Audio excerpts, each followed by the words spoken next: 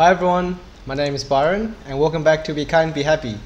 For this episode in my Simple Life Lesson series, I'd like to discuss a bit about concentration. Last episode we spoke about mindfulness and we can cultivate that with mindfulness meditation or mindfulness in everyday life. But now I want to speak specifically about concentration and the power of a concentrated mind. First of all, how does a concentrated mind affect our everyday lives? What does it actually mean to have a concentrated mind?